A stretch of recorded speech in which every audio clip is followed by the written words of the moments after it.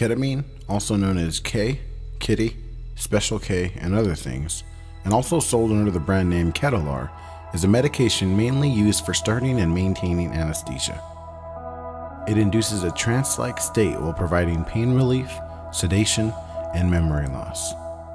Its effects typically begin within 5 minutes, with its main effects lasting up to 25 minutes. Ketamine has been classified as an NMDA receptor antagonist, but its mechanisms are not well understood as of 2017.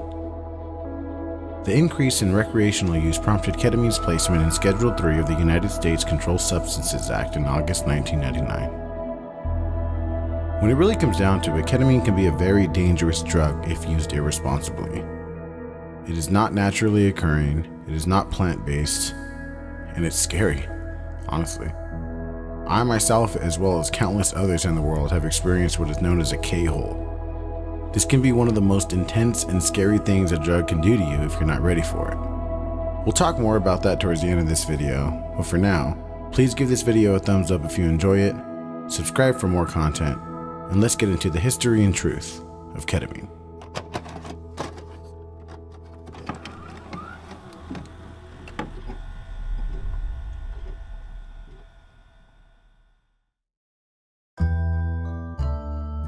Just like Sandoz is the company usually linked with psychedelics like LSD, the pharmaceutical giant Parke-Davis has a much older connection with altered states of mind. The company obtained some peyote cactus as far back as the 1880s, leading to the discovery of mescaline. But the real problem child for Parke-Davis sprung from their own womb in Michigan by the name of ketamine. Ketamine was first synthesized in 1962 by Calvin L. Stevens, a professor of chemistry at Wayne State University. Stevens named it C1581. Its discovery came out of the search for PCP replacements. This occurred just before Timothy Leary left Harvard, John Kennedy was assassinated, and the United States sank further into the war in Vietnam. On August 3, 1964, ketamine was given to a human being for the first time by Edward Domino. That night, he described to his wife his utter amazement at seeing a person who was fully awake, but not there. The hopeful replacement for phencylamine, aka PCP, had been found. In 1966, ketamine was patented by Parke-Davis for use as an anesthetic in humans and animals. An all-American, all-artificial drug, one that was not first synthesized in Europe or extracted from plants like mescaline and psilocybin. For some strange reason, Stevens quietly rushed through a patent application in Belgium.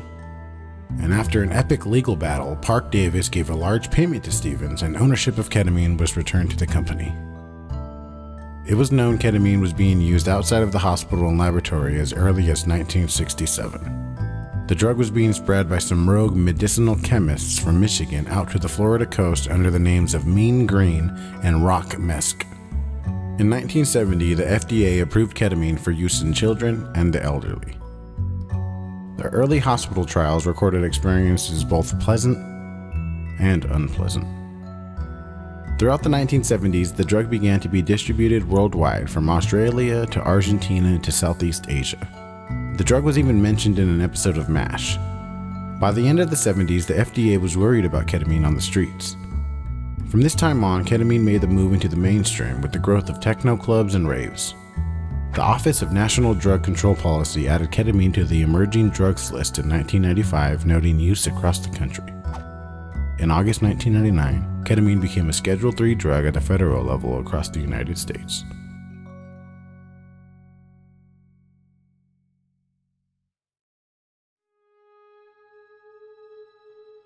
When it comes to ketamine, there are a lot of pros and cons. It can be used as a surgical tool to sedate patients in a somewhat pleasant way, while not using anesthesia that can be more toxic or dangerous to patients. But it can also be as serious and dangerous as to cause death in users irresponsibly consuming the drug. Though it is extremely rare, there are cases where people have died on ketamine. Most reported cases of death from ketamine toxicity is also due to the drug being mixed with other substances like fentanyl, ethanol, or alcohol. For the record, ketamine is not a drug you want to mix with any other chemical. Usually the deaths are caused by behavior and not by the actual toxicity of the drug.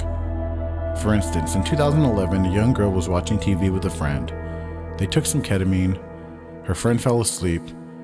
She took a bath and drowned after falling asleep in the bathtub.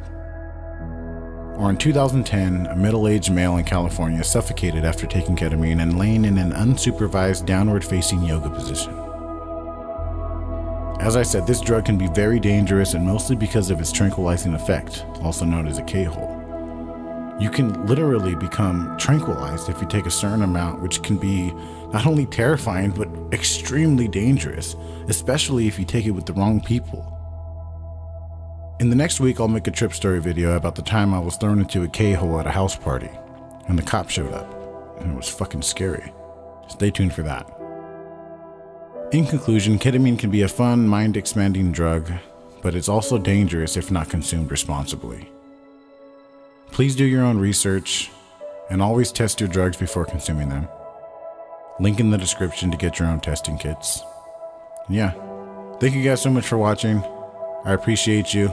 Let me know in the comments down below if you ever tried ketamine or if you've been affected by ketamine in any way. And I gotta say, YouTube isn't what it once was, and the only way we're able to make this content for you guys is with your help. So please consider checking out the merch at audible484.com. You can also support on Patreon for as little as a dollar a month, and it helps a lot. Smoke something, drink something, and I'll see you next time.